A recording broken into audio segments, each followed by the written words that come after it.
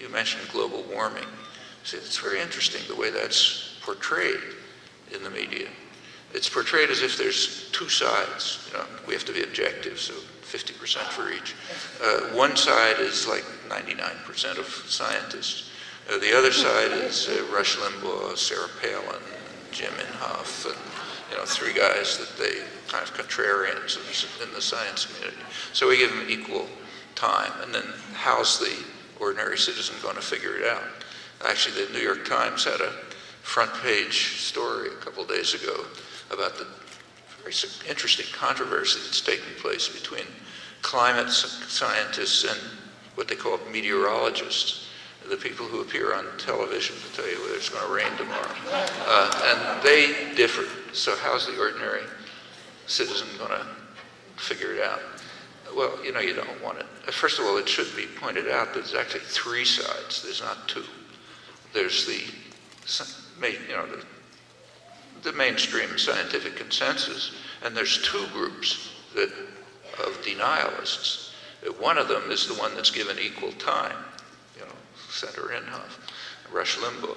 But there's another one, which is very significant. Uh, major groups of scientists who think that the uh, uh, mainstream analyses are nowhere near grave enough. Uh, they're all, it's very serious work. I mean, MIT just came out with a big study, their scientists saying the reality is far worse than what's predicted. Well, they're not part of the debate. Okay. So what's the ordinary citizen going to do? Well, he's not going to become a climate scientist. But you know, the choices in this case are so transparent that it doesn't take a lot of work to figure it out.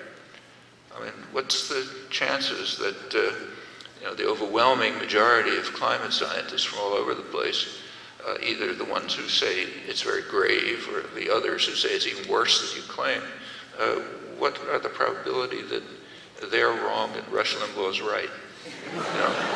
I mean, it's, it's not a hard decision. You don't have to be an expert. And there's another point to be made about all of this. If, if you try to think through the cost-benefit analysis, suppose the people who deny it are correct and you do something about it. Okay, you've spent some money doing things you probably should have done anyway.